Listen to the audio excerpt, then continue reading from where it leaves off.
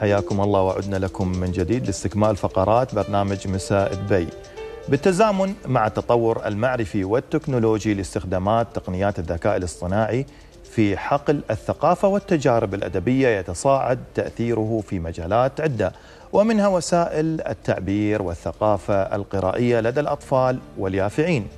نتحدث أكثر عن كيف يثري الذكاء الاصطناعي مهارات الأطفال اللغوية مع ضيفتنا في الاستوديو هيا القاسم كاتبة ومؤسس دار شمس للنشر والثقافة. حياك الله أختي هيا. الله يحييكم وأسعد الله جميع أوقاتكم.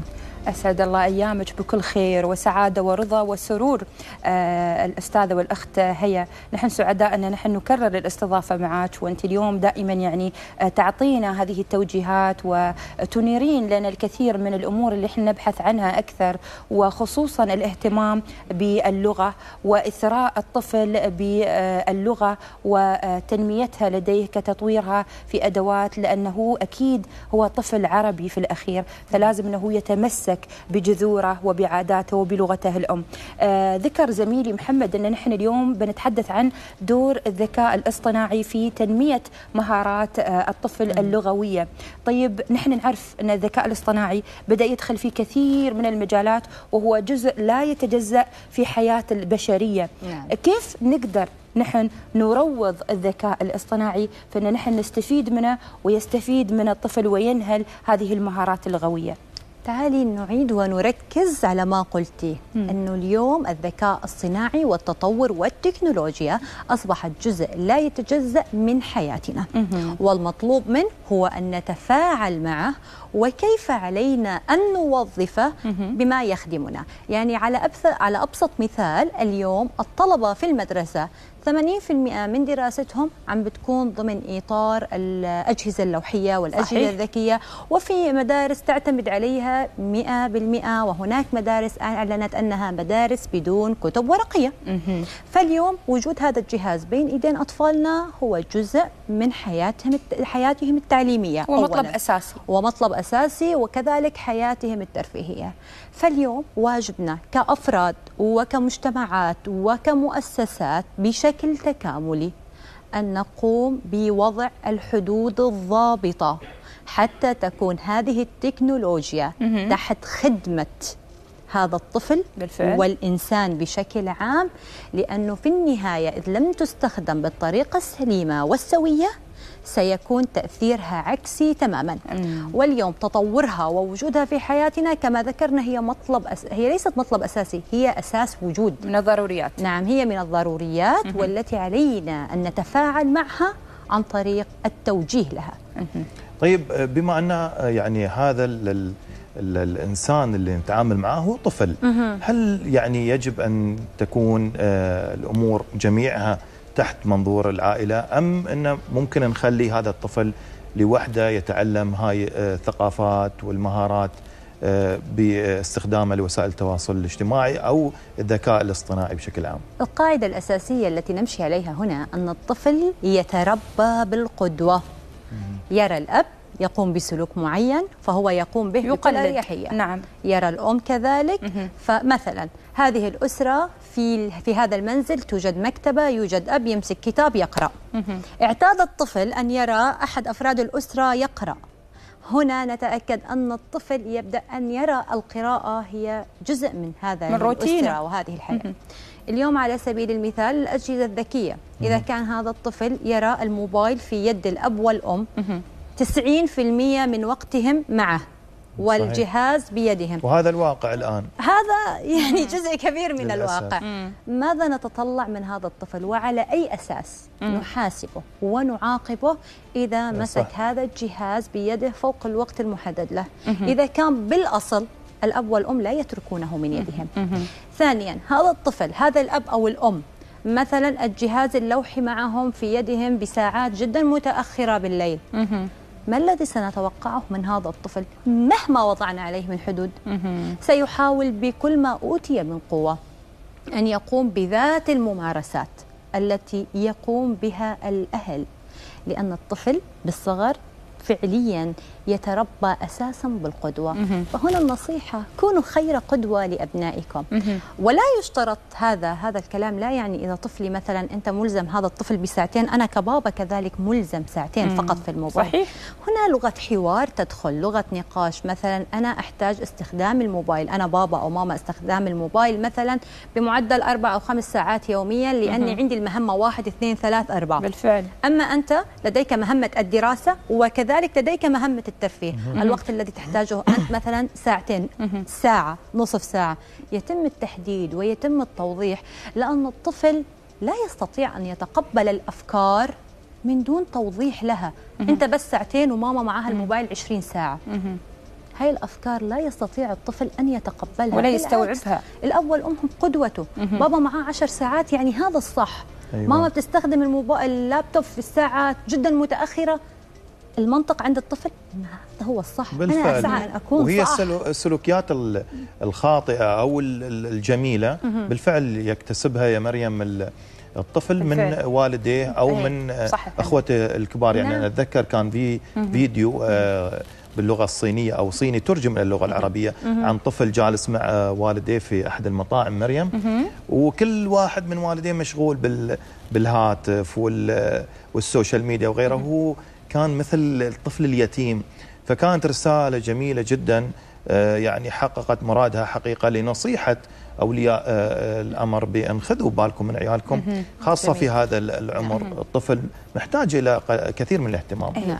آه، أستاذة هي الحين إحنا يعني ما نبغي بعد آه، نوصل لمرحلة أن آه، يعطي انطباع للمشاهدين الآن أن نحن يعني نشوه أو نقول أن الآيباد أو اللو ال- ال- ال- هذه ال- اللوحات الرقمية وغيرها هي شيء يعني ضار وهي كذا. أكيد هي لها يعني منافع. إحنا اليوم دورنا نتكلم عن الطرق الأمثل للاستفادة من هذه التكنولوجيا كيف أعطينا طرق للاستفادة من الذكاء الاصطناعي لتنمية مهارات الطفل اللغوية. جميل جدا كون تحدثنا أنها جزء لا يتجزأ من حياتنا وعلينا ترويضها هي فعلا اليوم الأجهزة الذكية لو فكرنا هل لها إيجابيات؟ طيب اليوم عندنا أطفال يتقنون لغات أخرى. مختلفة بإتقان كامل. يفوق متخصصين بسبب ال- الألواح الذكية بسبب. بعض. المواقع بسبب بعض البرامج. اليوم يوم أجد عندما أجد طفل متعدد اللغات. هذا كان سببه الأساسي محتوى جذبه. كان مناسب له على هذه الأجهزة. اثنين هي وسيلة لاختصار الوقت والتعليم. اليوم هي مساحة للتعليم جدا جدا. مهم. تعال ناخذ الموضوع شوي من ناحية الاستدامة. مهم. هلا أنا 100% مع الكتاب الورقي. مهم. 100% مع الكتاب الورقي، لكن الكتاب الورقي بالنهاية هو أشجار. صحيح. الأوراق هي عبارة عن أشجار فاليوم لو تحدثنا عن الكتاب الإلكتروني كبديل للكتاب الورقي فهو نوع من أنواع أو شكل من أشكال على الحفاظ. على البيئة. آه كذلك يعني اليوم هو وسيلة تعليم اليوم اختصار الوقت والجهد اليوم مثلا اجتماع يعني مهم. أنا اليوم ممكن أنا في إمارة دبي عندي اجتماع بإمارة أبو ظبي بالفعل. اليوم أنا غير محتاجة صح.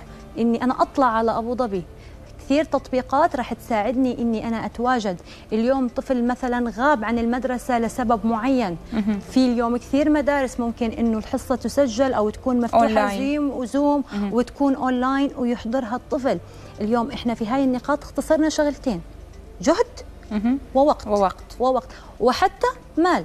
بترول طريق ما إلى ذلك.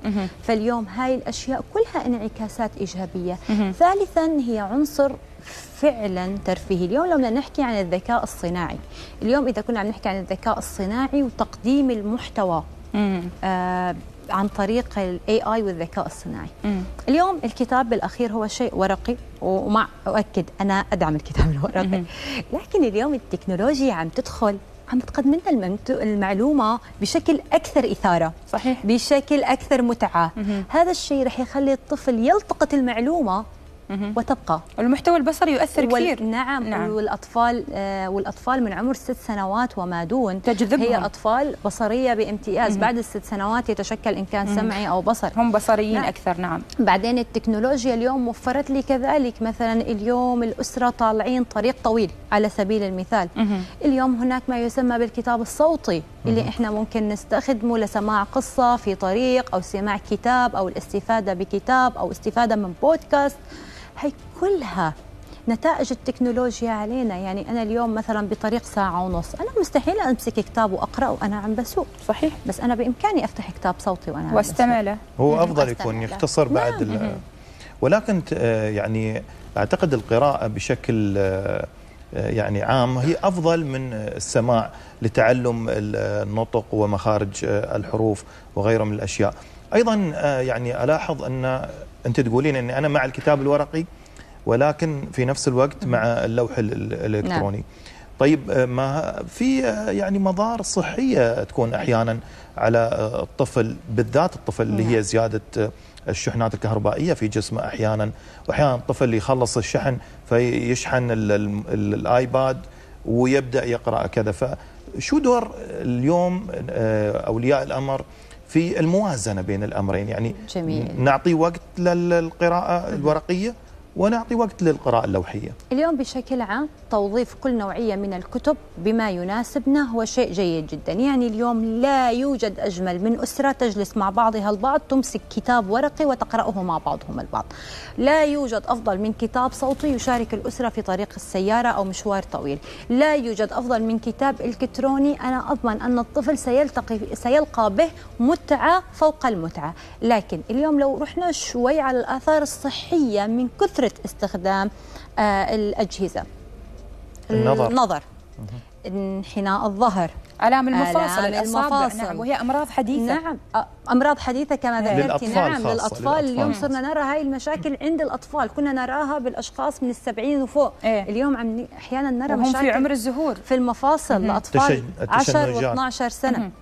فالموضوع فيه كثير من المخاطر الصحية. بالدرجة الأولى. صحيح. وثانيا في مخاطر اللي هي شبيهة مثل يقال أنه الإدمان الطفل يبطل يقدر يتخلى عن هذا الجهاز وما في ولا الطاقة ويصيح ويصيح ويبكي ونوبات الغضب والتأثيرات السلوكية.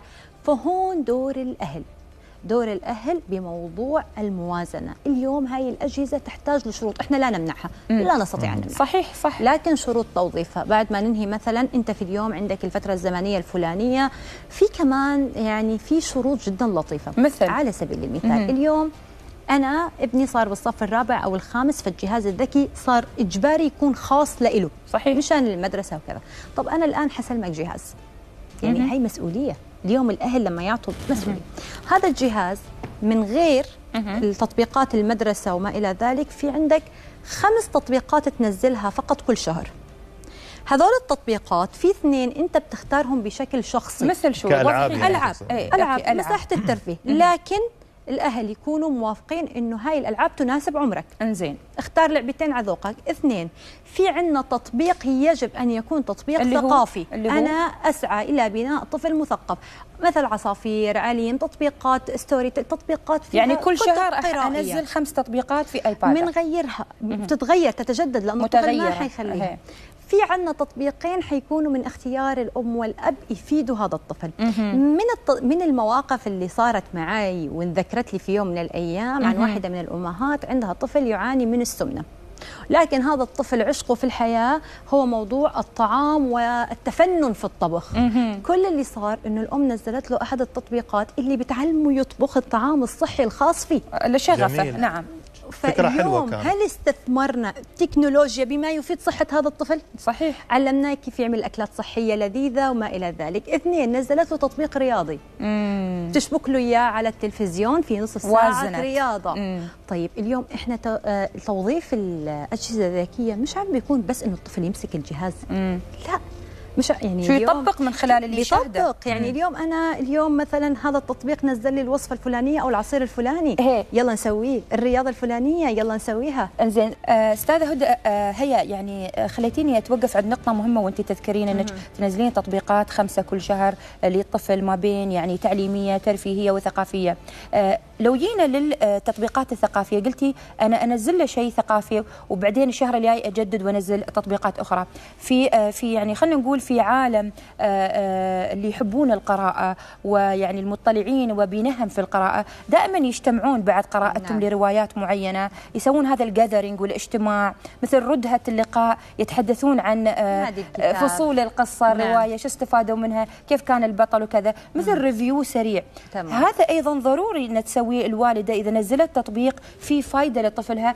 تجلس معه وتطمن انه دخل على هذا التطبيق واستفاد منه. لأنه الطفل كائن متجدد وهاي التطبيقات يعني انت أصلا لو مسكتي موبايل آه، iPad أو جهاز لطفل يعني غير تحت رقابة الأسرة راح تلاقي كمية هائلة من التطبيقات اللي عليه. بس إحنا الآن حددنا على سبيل المثال خمسة إيه؟ فإحنا جلسنا معاه إحنا حاليا مشان نخليه يستمتع أكثر بدنا نجدد له كل التطبيقات صحيح. حتى الألعاب اللي هو بده يختارها. سوي review تمام. بس أنا الآن شو اللي بده يخليني أخلي تطبيق معين؟